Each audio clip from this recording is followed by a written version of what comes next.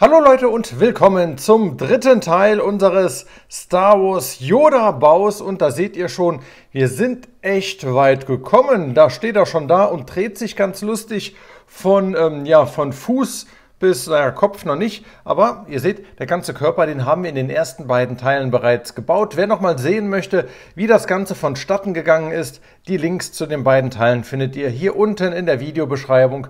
Genauso wie den Kauflink von Amazon, falls ihr Lust habt, euch den kleinen Yoda als Jedi-Meister hier selbst mal hinzustellen. Und äh, ja, die beiden Kollegen sind schon die ganze Zeit mit dabei und sind ganz gespannt, wie es weitergeht. Und heute bringen wir ihn zu Ende. Da sind die Tüten Nummer, ich glaube 10, nee 9, 9 bis 13 und da steckt zum einen drin der Kopf, der hier noch drauf kommt, zum einen sein Lichtschwert, das sieht man hier, die Teile und, äh, na, dreh dich mal um, Kollege. Die Hände, ja hier, händeringend wird hier noch nach Händen gesucht. Also die werden wir auch noch bauen. Und das wird, glaube ich, ein sehr, wenn nicht sogar der interessanteste Bauabschnitt oder die Abschnitte von dem gesamten Set. Denn ich sag mal, das hier und das hier, das sieht alles toll aus, ist aber vom Bauen eher, ich sag mal, abstrakt. Aber jetzt, wenn man hier anfängt, ja, einen Kopf zu bauen, ja, ich glaube, da wird das schon ein wenig äh, spaßiger werden. Also, genug der Vorrede, legen wir los mit Tüte Nummer 9. Wo ist sie denn? So sieht die aus, Tüte Nummer 9 und hier sind auch schon die Augenlider drin. Ach, ich freue mich, ich freue mich schon die ganze Zeit, den Kopf zu bauen. Also, los geht's.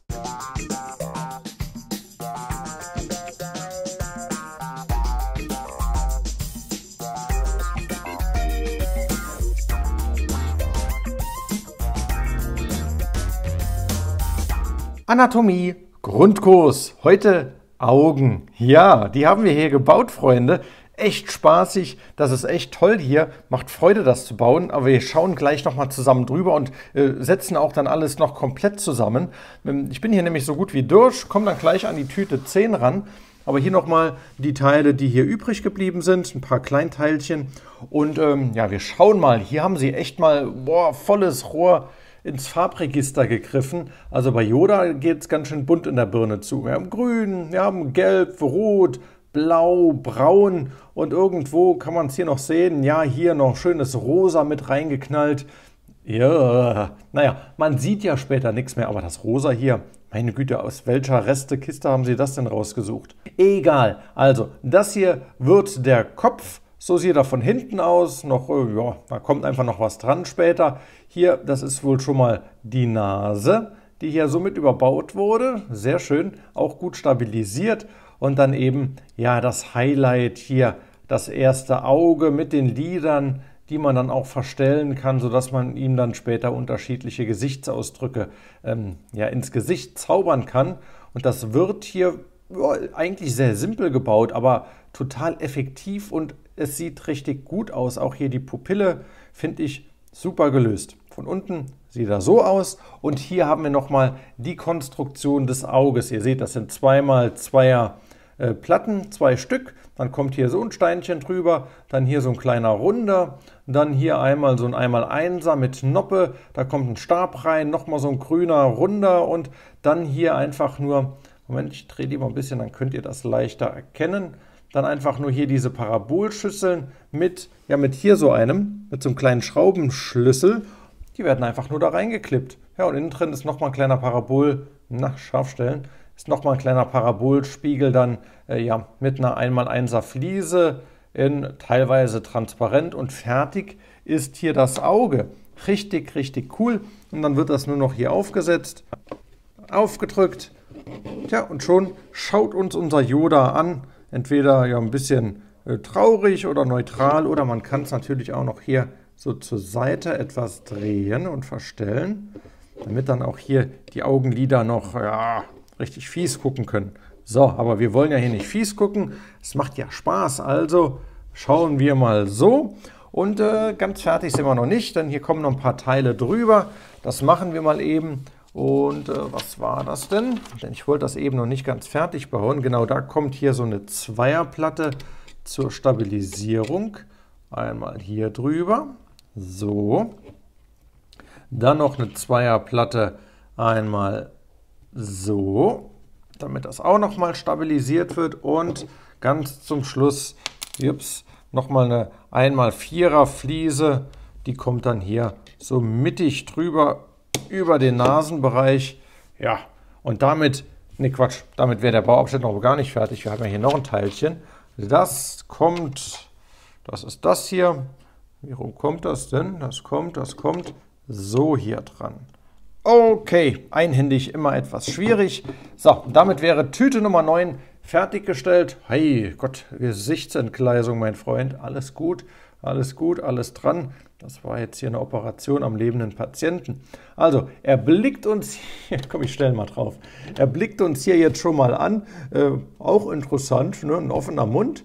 Ja, sieht aus wie so ein Zombie-Yoda im Moment. Aber egal, das hier, Freunde, macht Spaß. Da sieht man direkt, was man baut, was es werden soll. Und ähm, das haben sie toll, toll, toll umgesetzt. Echt Riesenspaß, hier den Kopf zu bauen soweit. Also, da fehlt aber noch ein bisschen was. Die langen Ohren kommen ja noch und der Kopf, der braucht hier die Seitenverkleidungen, die Wangen und ja, es wird noch eine riesige Freude werden. Also bauen wir direkt mal weiter mit Tütchen Nummer 10. Ach, da ist ja schon wieder hier die pinke Seuche, die rosa Seuche mit drin. Aber ansonsten, ja, bauen wir jetzt mal hier am Kopf etwas weiter. Das hier ist jetzt der Part, der mir richtig Freude bereitet. Also, weiter geht's.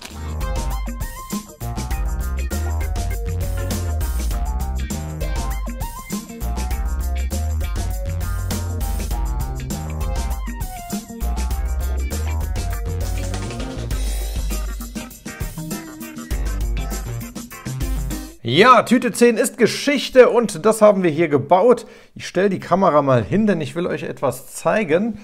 Schauen wir mal von vorne, schaut euch mal hier den Kopf an. Also wir haben jetzt hier diesen, äh, wie nennt man das, Mund-Schnauzen-Bereich bei Yoda gebaut.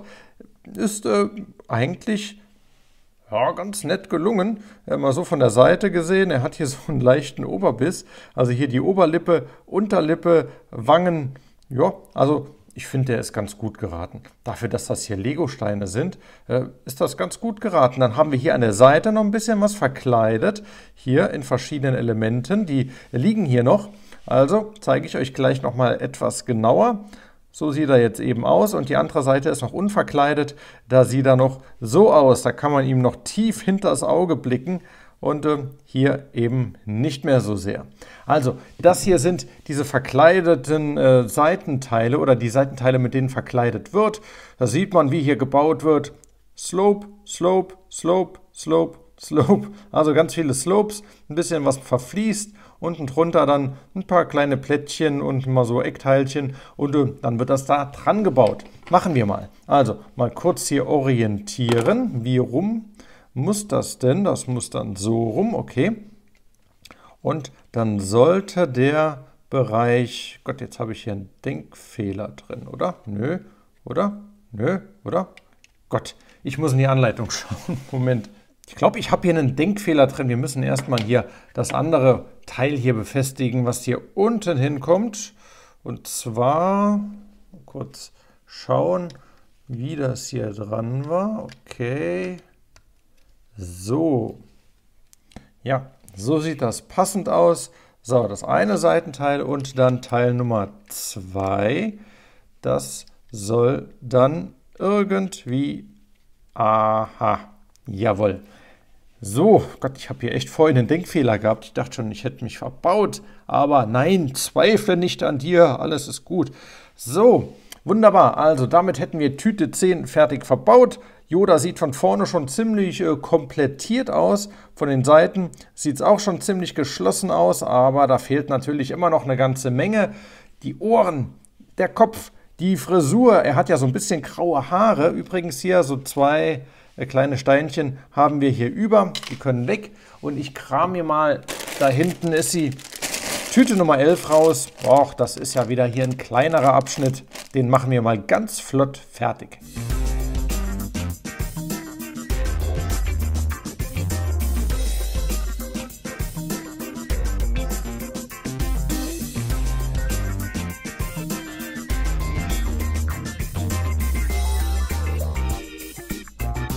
Da da ist es passiert, Freunde. Ich habe ein Fehlteil oder ein falsches Teil oder ich habe irgendwo was falsch verbaut.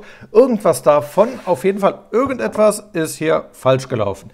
Ich zeige es euch mal. Ich habe hier die Ohren gebaut, kann man schön sehen, die Yoda-Ohren ganz hervorragend. Und äh, Moment, welcher ist korrekt? Das hier. Das hier ist die Rückseite und hier habe ich einen Slope und nochmal hier genau den gleichen Slope auf der Unterseite. Das gleiche sollte auch hier bei dem Ohr sein. Hier oben ist er korrekt, aber hier habe ich keinen mehr von, von diesen Slopes hier gehabt, sondern musste dann hier so ein abgeschrägtes Teil hinbauen. Ist jetzt hier kein großes Problem, aber in der Anleitung war es eben äh, ja, anders dargestellt. Also entweder, ich will es gar nicht ausschließen, ob ich hier irgendwo äh, den benötigten falsch verbaut habe. Ähm, da fällt mir hier gerade noch was auf. Das hier sieht aber auch merkwürdig aus. Hier, hier so gezackt und hier so zusammenlaufend. Ah, mein Gott, die Konzentration, die lässt nach. Ich muss mal kurz schauen, ob das hier so stimmt. So stimmt's und äh, das andere hat nicht gestimmt, also mal kurz umgedreht, aber jetzt habe ich folgendes Problem. Äh, ja, den, den ich jetzt eben an den Hinterkopf gebaut habe, der hätte eigentlich dann hier dran gemüsst noch. Ah, naja gut, er wird jetzt zum Unikat hier, der gute Yoda. Ich lasse das einfach mal so, kann ich ja später immer noch ändern, falls ich das fehlende Teil doch noch finden sollte. Ja, wir lassen es einfach mal so. Ein Ohr ist ja auch nicht immer wie das andere, von daher, wir lassen das mal so und bauen die Lauscher noch hier an den Kollegen an. Mal schauen, wie die hier dran müssen. Das wird wohl genau einfach hier so aufgesetzt. Passt ganz hervorragend. Hier könnt ihr das nochmal schön sehen. Einfach hier raufsetzen andrücken. Hervorragend. Jo, fällt doch gar nicht großartig auf, oder? Der kleine Unterschied ist, dass hier jetzt die eine Zacke nach unten zeigt statt nach oben und hier zeigen sie beide nach oben. Kann ich mit leben? Das ist eben dann mein Yoda. Jawohl. Also, soweit ist er jetzt hier schon fertig gebaut. Ich setze mal hier den Kopf kurz auf. Ja, ja, ein bisschen hirnlos noch, aber da kümmern wir uns hier in Tüte, in der vorletzten Tüte Nummer 12 drum. Da bauen wir jetzt hier oben noch mal was auf den Kopf und ganz zum Schluss gibt es dann noch ein Lichtschwert. Da freue ich mich auch schon drauf. Also weiter geht's mit Tüte Nummer 12.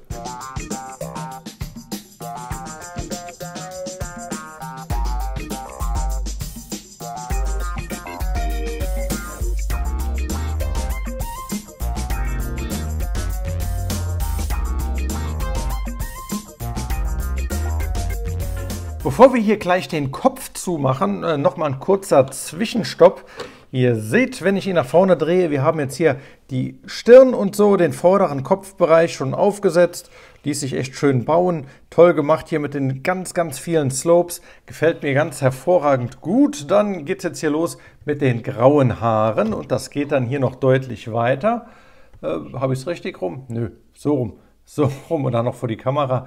Also das hier ist jetzt der Hinterkopf ebenfalls hier angedeutet mit diesen Teilen. Was ist denn das ursprünglich? Waren das irgendwelche Eisteile oder so? Ich weiß es gar nicht. Auf jeden Fall kommt das Teil noch gleich hier hinten drauf. Aber vorher kann man noch sehen, wie der Kopf hier überhaupt befestigt wurde. Nämlich hier mit dem einen Stiftchen, also so eine, so eine kleine Technikachse. Und der wird dann einfach hier drauf gesetzt. Da hatten wir einen Liftarm und dann hier durch. Und schon passt das und ja, er wackelt und hat ein bisschen Luft sogar. Sehr, sehr schön. Also, dann bauen wir jetzt mal noch hier den Hinterkopf ganz zu Ende. Einmal hier aufsetzen, das ist ja ganz einfach. Und dann noch ein paar kleine Steinchen. Klack, sitzt schon wunderbar. Und dann habe ich nochmal diesen hier und muss dann den so rum aufsetzen. Ganz, ganz wichtig. Und der kommt hier oben einmal ran. Und dann hätten wir noch so einen und auch dort kommt hier so ein schräges Steinchen dran in die Richtung und der kommt dann nochmal da oben drauf. Sehr schön, sehr schön. Freunde, wir sind auf Seite 197. Ich werde langsam schon merkwürdig. Tüte 13 steht uns noch bevor und unser Yoda. Ich stelle ihn euch mal hier auf die rotierende Platte und unser Yoda. Ja, schaut euch jetzt mal den Kopf an. Der ist fertig. Hier muss ich auch richtig andrücken, da sitzt er noch nicht hundertprozentig, aber man bekommt hier jetzt schon den Eindruck. Und der Kopf, kurze Wertung, Daumen hoch von mir, der hat richtig Spaß gemacht. Ganz, ganz toll. Und hier haben wir nochmal drei Teilchen, die übrig geblieben sind. Und jetzt geht's, ja, Hände und Waffe kommt alles hier in Teil 13. Also hier unten, da fehlen ja noch die Hände, die stecken hier drin. Und das sehr, sehr lang werdende Lichtschwert. Oh Mann, da wird es echt schwierig, einen Platz im Regal zu finden. Aber egal, weiter geht's. Endspurt.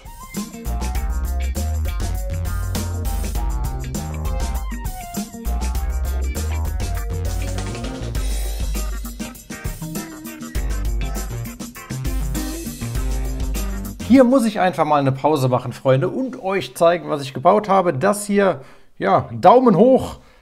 Das ist schon mal die erste Hand. Das wird die Hand sein, die auch hier hinten den Lichtsäbel, das Lichtschwert hält. Und da sieht man schon, wie das gebaut wird. Wir haben hier diese, äh, ja, Moment, ich mach's mal ab. Ja, also wir haben hier diese Haltepunkte, wo dann die C-Clamps reinkommen. Klack. Und dann hat man hier noch ein kleines Gelenk, ebenfalls mit C-Clam gemacht. Und äh, ja, eigentlich relativ simpel, aber so wird dann eben die Hand oder die Hände gebaut. Aber das echte Highlight, das ist schon hier, Gott, ich muss weiter zurückgehen, das ist schon hier das Lichtschwert. Das ist ein richtig langes Teil. Sau cool finde ich das. Schaut euch hier mal den Griffbereich an. Ähm, das sieht ja ähnlich aus wie das von Darth Vader hier vom Griffbereich. Also man hat hier ganz, ganz viele von diesen äh, ja, einmal Vierer Steinchen ganz hier oben mit einer Abdeckung einer Kappe und da innen drin, da ist natürlich unsere lange Technikachse, die wir hier ganz am Anfang schon gesehen haben im ersten Teil. Und äh, ja, sieht cool aus. Muss natürlich noch irgendwie mal beleuchtet werden. Das ist ja wohl sowas von klar. Ich habe da auch schon mal was gesehen, wo jemand das beleuchtet hat. Ich denke, äh, das werde ich irgendwann auf jeden Fall angehen, weil das wird beleuchtet dann ultra cool aussehen. Wenn hier noch eine LED von unten reinstrahlt und es ist etwas dunkel im Raum, wahnsinniger Hingucker, aber auch so dieses Neon, was ist das, Neon-Gelb-Grünliche, sieht cool aus. Ne, muss ja grün sein, er hat ja ein grünes Lichtschwert, also Neongrün, also macht einiges her. Ich glaube 22 von diesen Steinchen sind das, die man hier verbaut. Und dann hier unten, da ist der Anschalter und dann hält der kleine Yoda sein Lichtschwert hier. Ich finde es echt schön gemacht. Was mich hier minimal stört ist, ja, wir haben hier wieder so einen blauen Pin auf Noppe verbaut und auch wenn man hier die Abdeckung drüber setzt, ja, das Blau sieht man durch. Das ist schade. Wäre das schwarz, wäre es besser, aber jammern auf hohem Niveau in dem Fall. Und, ach, übrigens, schaut mal her. Ja, was sehe ich denn da? Wir haben ja hier auch noch das äh, Lichtschwert vom kleinen Yoda. Da habt ihr mal den Vergleich. Gott, wie mache ich das denn? Also Minifiguren, Lichtschwert und äh, ja, hier unser Maxi-Figuren, Lichtschwert. Echt cool. Cooles Teil. Der Yoda, der liegt übrigens auch noch hier hinten auseinandergebaut. Also, das nur mal so als kurzer letzter Zwischenstopp, Freunde, denn wir sind nahezu fertig. Schaut euch meinen Tisch an. Da ist äh, ja alles ziemlich frei geworden mittlerweile. Also, wir bauen noch die eine Hand fertig, die zweite Hand fertig, die Minifigur, alles dann hier dran und dann gibt es hier den abschließenden Blick und mein kleines Fazit, ob ich den Lego Yoda hier gut finde. Na, na, nicht spoilern. So, weiter geht's.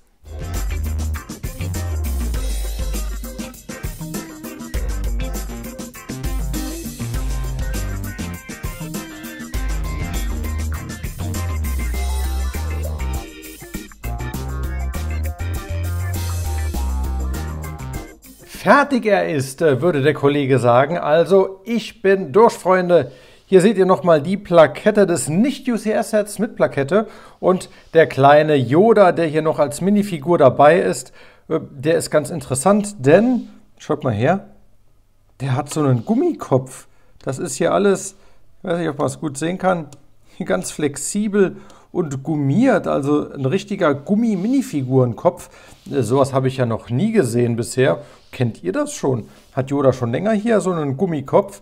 Keine Ahnung. Auf jeden Fall, jo, der sieht ganz nett aus, schön aufgedruckt, die Augen passen, das Lichtschwert in der Hand.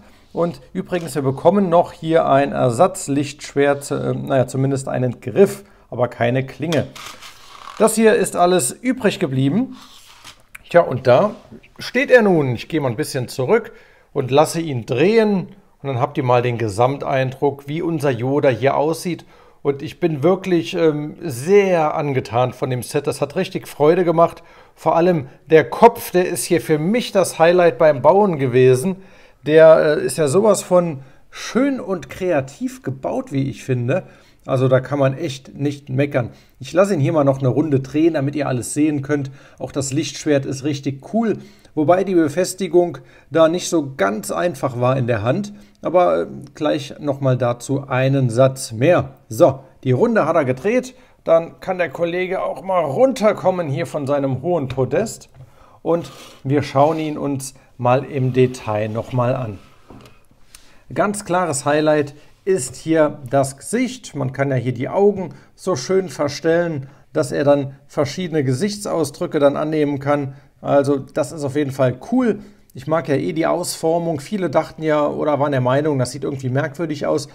Finde ich jetzt gar nicht so. Also ich, ich mag die Optik. Ich mag die Optik, wie er aussieht. Finde ich cool. So, hier unten noch die Hände, die ich gebaut habe. Einmal die Hand, einmal die Hand, die dann auch hier das Lichtschwert umklammern. Ich habe die jetzt hier so ineinander äh, verschränkt, hier die, die Hände, die Finger, aber das kann man alles ja ein bisschen einstellen und so machen, wie es dann für einen passt. Das Lichtschwert an und für sich, das ist allerdings hier recht schwach befestigt. Das ist hier oben nur an einem 1x1er Rund, der schwarze hier, angesteckt. Ich habe da noch ein zweites Steinchen drunter gepackt, damit es ein klein wenig äh, ja, stabiler wird. Aber wenn es mal dran ist, will man da äh, ja, nicht mehr groß dran rumwackeln. Und dann hält er hier sein Lichtschwert, sieht ein bisschen müde aus, ist ja auch schon ein alter Knecht. So, und der Kopf, der lässt sich übrigens auch drehen. Ja, man kann den hier im gewissen Rahmen äh, ein bisschen bewegen. Der hat da ein bisschen Spiel, auch nach vorne und hinten kann er leicht nicken.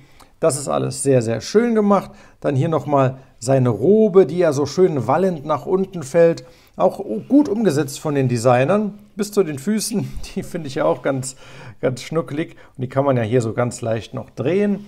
Schauen wir ihn uns mal von der Seite an. Da sieht er dann so aus. Und der Kollege, der ist hoch. Meine Güte, durch das Lichtschwert wird er richtig, richtig hoch. Und auch hier gefällt mir die Robe sehr gut. Hier mit den Händen ja, und auch das Profil, doch, kann sich sehen lassen mit seinen langen Ohren. Und dann auf der Rückseite, wie gesagt, hier seine grauen Haare. Gut, das sieht so ein bisschen, aber wie soll man es bauen? Ich, keine Ahnung. Sieht so ein bisschen sehr schütter aus, aber man bekommt die Ahnung, was hier dargestellt werden soll damit. Also finde ich eigentlich völlig in Ordnung. Dann hier sein Hoodie mit der Kapuze und der komplette Blick von hinten und dann gibt es nochmal die Ansicht von der anderen Seite. Also echt ein ausgesprochen schönes Set, Freunde. Wenn ihr das findet, ich kann es euch nur empfehlen, kauft es euch, aber nicht für 80 Euro, nicht für 90, nicht für 100. Äh, guckt mal, ob ihr das findet, so für 75 Ne, vielleicht bis 65 Euro runter. Die Preise schwanken da ja doch schon sehr, sehr stark. Von daher klickt einfach mal in den Link hier unten in meiner Videobeschreibung. Dort findet ihr zum einen Teil 1 und Teil 2 des Aufbaus und auch den Amazon-Link zum Set. Da gibt es immer mal wieder ganz schöne Angebote. Tja, und damit wäre alles gesagt. Ich hoffe, ihr hattet hier genauso viel Freude und Spaß wie ich. Jetzt haben wir hier drei tolle Lego, ähm, ja, ja gut, UCS-Figuren wollte ich sagen, aber nur BB-8 ist ja UCS und der Pork eher nicht und der Yoda natürlich auch nicht, obwohl er hier das größte Set ist mit 1771 Steinen. Äh, verstehe das, wer will. Ich finde, das ist für mich ein UCS-Modellset mit Plakette und macht mir hier ganz, ganz viel Freude. Und jetzt suche ich mir ein schönes Plätzchen dafür und sage vielen Dank fürs Zusehen. Bis zum nächsten Mal.